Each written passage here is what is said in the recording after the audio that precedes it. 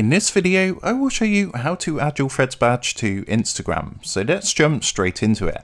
So in order to do this, first what you're going to want to do is of course open up Instagram on your device. So here we are on Instagram now. If I come across to my profile, which I can do by clicking on my profile icon in the bottom right hand corner, you will see under my Instagram username up here, I've got my Threads badge. So anyone can actually press onto this badge and then press on the View Threads Profile button to be taken to my Threads profile. Now you have also got the option to hide the badge if you want to, however if you do hide the badge you're not going to be able to get it back, so just bear that in mind if you was thinking of hiding the badge. But to actually get the Threads badge it's very very simple, all you want to do is sign up for Threads, so you can do that through Instagram.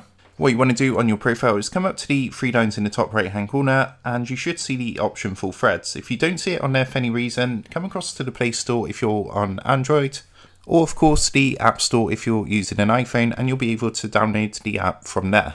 So once you've gone ahead and created your Threads account with Instagram, then what's going to happen is this badge is automatically going to be added to your Instagram profile. So after you've got your account, when you come back to your Instagram profile, you're going to see this badge underneath your name here.